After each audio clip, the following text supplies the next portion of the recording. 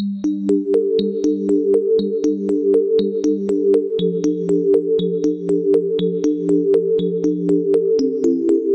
Friends ഈ വീഡിയോയിൽ നമ്മൾ നോക്കുന്നത് മുൻ വർഷങ്ങളിലെ മാത്സിലെ ക്വസ്റ്റ്യൻസ് ആണ്. ഇത് എൽ ഡി സി പത്തനംതിട്ട രണ്ടായിരത്തി പതിനൊന്നിൽ ചോദിച്ച ചോദ്യങ്ങളാണ്. മാത്സിലെ ഇരുപത് ക്വസ്റ്റ്യൻസിൽ ആദ്യത്തെ പത്ത് ക്വസ്റ്റ്യൻസ് നമ്മൾ മുൻപ് ഒരു വീഡിയോയിൽ നോക്കി. അതിന്റെ ബാക്കിയായിട്ട് വരുന്ന പത്ത് ക്വസ്റ്റ്യൻസ് ആണ് ഈ വീഡിയോയിൽ നോക്കുന്നത്. ഇതിൽ ആദ്യത്തെ ക്വസ്റ്റ്യൻ ഇതായിരുന്നു A K J B L I C N G D Q D എന്ന ശ്രേണിയിൽ അടുത്തത് ഏത്? ഇതെങ്ങനെ കണ്ടുപിടിക്കാൻ നോക്കാം. ഇതാകുന്ന നമുക്ക് എ ബി സി ഡി എന്ന് എഴുതിക്കാം എന്ന് ചോദിച്ചിരിക്കുന്നത് A K J B L I C N G D Q D ഇതിന്റെ അടുത്തതായിട്ട് വരുന്നതാണ് ചോദിച്ചിരിക്കുന്നത്. ഇതിന് നമുക്ക് നോക്കിയാൽ കാണാം. എല്ലാത്തിന്റെ ഫസ്റ്റ് അക്ഷരം എടുത്ത് ഞാൻ എ ബി സി ഡി അതൊരു ഓർഡറിലാണ് പോകുന്നത് എ ബി സി ഡി എന്ന ഓർഡറിൽ അപ്പോൾ അടുത്ത് വരുന്നത് A B C D E ആയിരിക്കും. ഇ പിന്നെ നോക്കിയാൽ K L N Q K L N Q K കഴിഞ്ഞിട്ട് എൽ പ്ലസ് വൺ എൽ കഴിഞ്ഞിട്ട് എൻ പ്ലസ് ടു എൻ കഴിഞ്ഞിട്ട് ക്യു പ്ലസ് ത്രീ ഇനി അടുത്തത് പ്ലസ് ഫോർ ആയിരിക്കും. ക്യൂവിനോട് ഫോർ കൂട്ടിക്കഴിഞ്ഞാൽ ഒന്ന് രണ്ട് മൂന്ന് നാല്. യു. പിന്നെ നോക്കിയാൽ J I G P J I G D plus one plus two plus three ഇവിടെ പ്ലസ് ഫോർ ആയിരിക്കും. ഇങ്ങോട്ട് വരുമ്പോൾ ഫോർ വരുന്നത് ഒന്ന് രണ്ട് മൂന്ന് നാല് സെഡ് ആയിരിക്കും. അപ്പോൾ E U Z option D E U Z ആയിരിക്കും ഇതിന്റെ ആൻസറായിട്ട് വരുന്നത്. നമുക്ക് ക്വസ്റ്റ്യൻ പേപ്പർ കിട്ടുന്ന സമയത്ത് തന്നെ ഇത് എഴുതി വെച്ച് കഴിഞ്ഞാൽ നമുക്ക് ചെയ്യുമ്പോൾ എളുപ്പമായിട്ട് വരും. അടുത്ത ക്വസ്റ്റ്യൻ നോക്കാം. രാജു ഒരു ബാങ്കിൽ നിക്ഷേപിച്ച തുക എട്ട് വർഷം കൊണ്ട് ഇരട്ടിയാകുന്നുവെങ്കിൽ പലിശ നിരക്ക് എത്ര? ഇതിന് വെക്കേഷൻ ഉണ്ട്. സാധാരണ പലിശ നിരക്കിൽ ഒരു തുക ഇരട്ടിയാകാൻ വേണ്ട പലിശ നിരക്ക് നൂറ് ബൈ വർഷമാണ്. സാധാരണ പലിശ നിരക്കിൽ ഒരു തുക ഇരട്ടിയാകാൻ വേണ്ട പലിശ നിരക്ക് കിട്ടാനുള്ള ലൊക്കേഷനാണ് നൂറ് ബൈ വർഷം. ഇവിടെ നൂറ് ബൈ വർഷം എന്ന് പറയുന്നത് എട്ട്. നൂറ് ബൈ എട്ട്. നൂറ് ബൈ എട്ട് എന്ന് പറയുന്നത് പന്ത്രണ്ടര പന്ത്രണ്ടരയാണ്. പന്ത്രണ്ട് ശതമാനം. ഓപ്ഷൻ ബി പന്ത്രണ്ടര ശതമാനം. ഇവിടെ ഓർത്തിരിക്കേണ്ടതാണ് സാധാരണ പലിശ നിരക്കിൽ ഒരു തുക ഇരട്ടിയാകാൻ വേണ്ട പലിശ നിരക്ക് നൂറ് ബൈ വർഷമാണ്. നൂറ് ബൈ വർഷം ശതമാനം. ഇവിടെ നൂറ് ബൈ എട്ട്. നൂറ് ബൈ എട്ട് എന്ന് പറയുന്നത് പന്ത്രണ്ട് പോയിന്റ് അഞ്ച്. പന്ത്രണ്ടര ശതമാനം. അടുത്ത ക്വസ്റ്റ്യനാണ് രോഹിത് രാഹുലിന്റെ മകനാണ്. ലക്ഷ്മി രാഹുലിന്റെ സഹോദരിയാണ്. ലക്ഷ്മിക്ക് അപ്പു എന്ന മകനും ശ്രീജ എന്ന മകളുമുണ്ട്. വാസു അപ്പുവിന്റെ അമ്മാവനാണ്. എങ്കിൽ രാഹുൽ വാസുവിന്റെ ആരാണ്? രോഹിത് രാഹുലിന്റെ മകനാണ്. രാഹുൽ. രോഹിത് മകനാണ്. ലക്ഷ്മി രാഹുലിന്റെ സഹോദരിയാണ്. ലക്ഷ്മി രാഹുലും സഹോദരി സഹോദരന്മാരാണ്. ലക്ഷ്മിക്ക് അപ്പു എന്ന മകനും ശ്രീജ എന്ന മകളുമുണ്ട്. വാസു അപ്പുവിന്റെ അമ്മാവനാണ്. ഇതാണ് അപ്പു. വാസു അപ്പുവിന്റെ അമ്മാവനാണ്. വാസു അപ്പുവിന്റെ അമ്മാവനാണെങ്കിൽ അമ്മയുടെ സഹോദരനായിരിക്കണം. അപ്പോൾ വാസു. വാസു ലക്ഷ്മിയുടെ സഹോദരനാണ്. അങ്ങനെയെങ്കിൽ മാത്രമേ അപ്പുവിന്റെ അമ്മാവനാവൂ. ഇനി ചോദിച്ചിരിക്കുന്നതാണ് രാഹുൽ വാസുവിന്റെ ആരാണ്? രാഹുൽ വാസുവിന്റെ ആരാണ്? സഹോദരൻ. ഓപ്ഷൻ എ സഹോദരനാണ് ആൻസർ ലക്ഷ്മിയുടെ മകനായ അപ്പുവിന്റെ അമ്മാവനാണ് വാസു. അതായത് ലക്ഷ്മിയുടെ സഹോദരനായിരിക്കും. അതുകൊണ്ട് തന്നെ രാഹുലിന്റെയും സഹോദരനാണ് വാസു. ഒരു ഇരുട്ടുമുറിയിൽ ഇരുപത്തേഴ് ചുവന്ന പന്തുകളും മുപ്പത് വെളുത്ത പന്തുകളും പതിനഞ്ച് നീല പന്തുകളും ഉണ്ട്. ഒരേ നിറത്തിലുള്ള മൂന്ന് പന്തുകൾ കിട്ടാൻ ഏറ്റവും ചുരുങ്ങിയത് എത്ര പന്തെടുക്കണം? ഇത് കണ്ടുപിടിക്കാൻ ഒരു എളുപ്പ വഴിയുണ്ട് ഒരേ നിറത്തിലുള്ള എത്ര പന്തുകൾ വേണമോ അതിനേക്കാൾ ഒന്ന് കുറവായ സംഖ്യകൾ എല്ലാ നിറത്തിനും തുല്യമായി കൊടുത്ത് ഒന്ന് കൂട്ടിയാൽ മതി. ഇവിടെ മൂന്ന് പന്തുകൾ ഒരേ നിറത്തിൽ ലഭിക്കണമെന്നാണ് പറയുന്നത്. അപ്പോൾ മൂന്നിനേക്കാൾ ഒന്ന് കുറവായ സംഖ്യ. മൂന്നിനേക്കാൾ ഒന്ന് കുറയെന്ന് പറയുന്നത് രണ്ടാണ്. അത് ചുവന്ന പന്ത്. റെഡിന് രണ്ട് നീലപ്പന്ത് നീലയ്ക്ക് രണ്ട് പിന്നെ വൈറ്റ്. വെള്ളപ്പന്തിന് രണ്ട്. ഇനി ഇതെല്ലാം പരസ്പരം കൂട്ടി ഇതിന്റെ കൂടെ ഒന്ന് കൂട്ടിയാൽ മതി. രണ്ട് പ്ലസ് രണ്ട് പ്ലസ് രണ്ട് പ്ലസ് ഒന്ന്. സിഗൽ ടു ഏഴ്. ഇങ്ങനെ എളുപ്പവഴിയിൽ ഇതിനുള്ള ആൻസർ കണ്ടുപിടിക്കാൻ പറ്റും. അതായത് നമുക്ക് എത്ര പന്തുകളാണോ കിട്ടേണ്ടത്. ഇവിടെ മൂന്ന് പന്ത് എന്നാണ് പറഞ്ഞിരിക്കുന്നത്. അപ്പോൾ മൂന്നിനേക്കാൾ ഒന്ന് കുറവായ സംഖ്യ എല്ലാം നിറത്തിനും വെച്ച് കൂട്ടുക. എന്നിട്ട് അതിന്റെ കൂടെ ഒന്ന് കൂട്ടുക. അപ്പോൾ നമുക്ക് ആൻസർ കിട്ടും. ഇവിടെ ചുവപ്പ് വെള്ള നീല മൂന്ന് കളറാണ്. ആ മൂന്ന് കളറിനും രണ്ട് വെച്ച് കൊടുത്ത് കൂട്ടുക. അപ്പോൾ രണ്ടും രണ്ടും നാല് നാല് രണ്ടും ആറ്. പിന്നെ അതിന്റെ കൂടെ ഒന്ന് കൂട്ടുക. അപ്പോൾ ഏഴ്. അങ്ങനെ നമുക്ക് എളുപ്പവഴിയിൽ ഇതിന് ആൻസർ കണ്ടുപിടിക്കാൻ പറ്റും. ഇനി ഇതിന് പകരം നാല് പന്തുകളാണ് തന്നിരിക്കുന്നതെങ്കിൽ നാല് പന്തുകൾ ഒരേ നിറത്തിൽ കിട്ടാൻ വേണ്ടി എത്ര പന്തെടുക്കണം എന്ന് ചോദിച്ചു കഴിഞ്ഞാൽ നാലിൽ നിന്ന് ഒന്ന് കുറയ്ക്കുക. മൂന്ന്.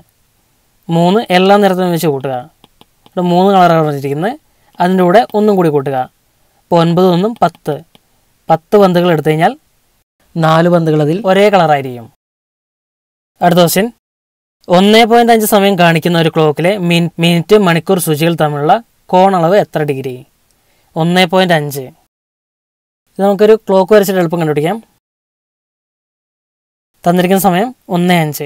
ഒന്ന് അഞ്ച് എന്ന് പറയുമ്പോൾ മണിക്കൂർ സൂചിക്ക് ചെറിയൊരു വ്യത്യാസം ഉണ്ടാവും ആ കോണളവാണ് ചോദിച്ചിരിക്കുന്നത്. ഈ കോണളവ്. അത് കണ്ടുപിടിക്കാൻ വേണ്ടി ഇവിടെ നോക്കേണ്ടത് പന്ത്രണ്ട് മുതൽ ഒന്ന് വരെ എത്ര ഗ്യാപ്പ് ഉണ്ട് നോക്കണം. ഇവിടെ ഒറ്റ ഒരു ഗ്യാപ്പേ ഉള്ളൂ.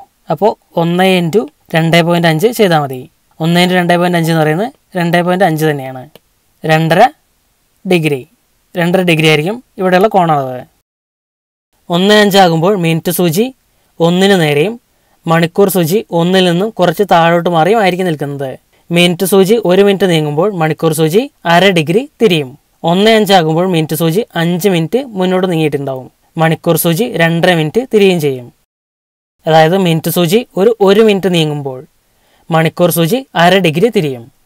ഇവിടെ അഞ്ച് മിനിറ്റാണ് നീങ്ങിയിരിക്കുന്നത്. അഞ്ച് ഇന്റു അര എന്ന് പറയുന്നത് രണ്ടര ഡിഗ്രി. സുധിക്ക് കാർത്തിയേക്കാൾ ഉയരക്കൂടലുണ്ട്. കാർത്തി ബിജുവിനേക്കാൾ ഉയരത്തിലാണ്. സന്ധ്യയ്ക്ക് ശ്യാമിനേക്കാൾ ഉയരക്കൂടലുണ്ട്. ശ്യാമിന് കാർത്തിയേക്കാൾ ഉയരക്കൂടലുണ്ട്. ഇവരിൽ ആരാണ് ഉയരം കുറഞ്ഞയാൾ? നമുക്കൊന്ന് വരച്ചു നോക്കാം. സുധിക്ക് കാർത്തിയേക്കാൾ ഉയരക്കൂടലുണ്ട്. സുധി കാർത്തി. സുധിക്ക് കാർത്തിയേക്കാൾ ഉയരക്കൂടലുണ്ട്. സുധിക്ക് ഇത്ര ഉയരമുണ്ടെങ്കിൽ കാർത്തിക്ക് ഇത്രയാണെന്ന് വിചാരിക്കുക. ഇനി കാർത്തി ബിജുവിനേക്കാൾ ഉയരത്തിലാണ്. ഇപ്പോൾ ഇവിടെ ബിജു.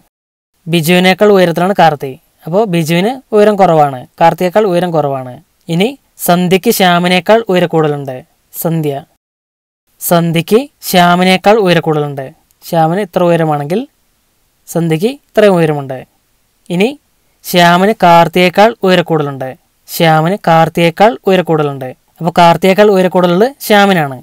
ശ്യാമിന്റെ ഉയരം കാർത്തിയേക്കാൾ കൂടുതലാണ്. പിന്നെ സന്ധ്യയ്ക്ക് ശ്യാമിനേക്കാൾ ഉയരക്കൂടലുണ്ടെന്ന് പറയുന്നുണ്ട് അപ്പോൾ സന്ധ്യയ്ക്ക് ഏറ്റവും കൂടുതലായിരിക്കും. ഇതിൽ നോക്കുമ്പോൾ ഏറ്റവും കുറവാണ് ചോദിച്ചിരിക്കുന്നത്. കുറഞ്ഞത് ബിജുവിനാണ്.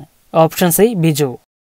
അതായത് സുധിക്ക് ഏറ്റവും കൂടുതൽ നീളവും അത് കഴിഞ്ഞ് സന്ധ്യയും അത് കഴിഞ്ഞ് ശ്യാമും അത് കഴിഞ്ഞ് കാർത്തിയും അത് കഴിഞ്ഞ് ബിജുവുമായിരിക്കും. ഈ ഒരു ഓർഡറിലായിരിക്കും വന്നിട്ടുണ്ടാവുക. അടുത്ത question X plus one by X is equal to three ആയാൽ X square plus one by X square എത്ര? ഇതിന്റെ ലൊക്കേഷൻ ഉണ്ട്. X plus one by X equal to K ആയാൽ X square plus one by X square എന്നത് K square minus two ആയിരിക്കും. K square minus two ആയിരിക്കും. ഈ ഒരു equation ഓർത്തിരിക്കുക. ഇവിടെ നമുക്ക് X plus one by X equal to three എന്നുണ്ട് അപ്പോൾ കെന്റെ ഇവിടെ ത്രീ ആണ്. ഇനി K square minus two three square minus two equal to ഒൻപത് മൈനസ് ടു സീക്വൽ ടു ഏഴ്. ഓപ്ഷൻ സി ഏഴായിരിക്കും ഇതിന്റെ ആൻസർ. ഇവിടെ ഓർത്തിരിക്കേണ്ടതാണ് X plus one by X equal to K ആയാൽ X square plus one by X square equal to K square minus two അടുത്ത question താഴെ തന്നിരിക്കുന്നതിൽ ഒറ്റയാനാര്? ഇംഗ്ലീഷ് ഹിന്ദി തമിഴ് കന്നഡ. ഇതിൽ ഇംഗ്ലീഷ് ആയിരിക്കും. ബാക്കിയെല്ലാം ഇന്ത്യയിലെ പ്രാദേശിക ഭാഷകളാണ്. ഹിന്ദി തമിഴ് കന്നഡ എല്ലാം ഇന്ത്യയിലെ പ്രാദേശിക ഭാഷകളാണ്. അടുത്ത ക്വസ്റ്റ്യൻ ഒരു ക്ലാസ്സിൽ ആൺകുട്ടികളും പെൺകുട്ടികളും തമ്മിലുള്ള അംശബന്ധം അഞ്ച് ഇസ്റ്റു നാലാണ് ആ ക്ലാസ്സിൽ ഇരുപത് പെൺകുട്ടികൾ ഉണ്ടെങ്കിൽ ആൺകുട്ടികളുടെ എണ്ണം എത്ര ആൺകുട്ടികളും പെൺകുട്ടികളും തമ്മിലുള്ള അംശബന്ധം അഞ്ച് ഇസ്റ്റു നാലാണ്. ഇത് ആൺകുട്ടികൾ ഇത് പെൺകുട്ടികൾ. ആൺകുട്ടികളുടെ അംശബന്ധം അഞ്ചും പെൺകുട്ടികളുടെ അംശബന്ധം നാലുമാണ്. ഇനി പെൺകുട്ടികൾ ഇരുപതെന്ന് തന്നിട്ടുണ്ട്.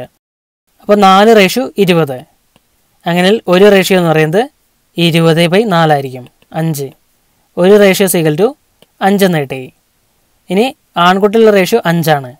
അഞ്ച് ഇന്റു അഞ്ച് സിഗൽ ടു ഇരുപത്തി അഞ്ച് ഓപ്ഷൻ ബി ഇരുപത്തി അഞ്ച് അടുത്ത ക്വസ്റ്റ്യൻ പതിനേഴ് റെസ്റ്റു മൂന്ന് പോയിന്റ് അഞ്ച് ഇന്റു പതിനേഴ് റെസ്റ്റു ഏഴ് പോയിന്റ് മൂന്ന് ഹരിക്കണം. പതിനേഴ് റെസ്റ്റു നാല് പോയിന്റ് രണ്ട് സിഗൽ ടു പതിനേഴ് റെസ്റ്റു എക്സ് ആയാൽ എക്സിന്റെ വില എന്ത്? ഇതെങ്ങനെ കണ്ടുപിടിക്കാൻ നോക്കാം? പതിനേഴ് raise to three point five into പതിനേഴ് raise to seven point three ഹരിക്കണം പതിനേഴ് റേസ് ടു നാല് പോയിന്റ് രണ്ട്. X raise to A into X raise to B എന്ന് പറയുന്നത് X raise to A plus B ആണ്. അപ്പോൾ ഇവിടെ പതിനേഴ് raise to three point five plus seven point three ആണ്. ബൈ പതിനേഴ് റെസ്റ്റു നാല് പോയിന്റ് രണ്ട്. സീക്കൽ ടു മൂന്ന് പോയിന്റ് അഞ്ചും ഏഴ് പോയിന്റ് മൂന്നും. പതിനേഴ് റേസ്റ്റു പത്ത് പോയിന്റ് എട്ട് ബൈ പതിനേഴ് റേസ്റ്റു നാല് പോയിന്റ് രണ്ട്. ഇനി X raise to A by X raise to B എന്ന് പറയുന്നത് X raise to A minus B ആണ്. അപ്പോൾ ഇവിടെ പതിനേഴ് റേസ് ടു പത്ത് പോയിന്റ് എട്ട് മൈനസ് നാല് പോയിന്റ് രണ്ട് എന്ന് കിട്ടും. പത്ത് പോയിന്റ് എട്ട് മൈനസ് നാല് പോയിന്റ് രണ്ട്. ആറ് ആറ്. പതിനേഴ് റെസ്റ്റു ആറ് പോയിന്റ് ആറ്. പതിനേഴ് റെസ്റ്റു ആറ് പോയിന്റ് ആറ്. ഇവിടെ ചോദിച്ചിരിക്കുന്നത് എക്സിന്റെ വാല്യൂ ആണ്. ഈ മുകളിലുള്ളത് ആറ് പോയിന്റ് ആറ്. ഓപ്ഷൻ സി ആറ് പോയിന്റ് ആറ്.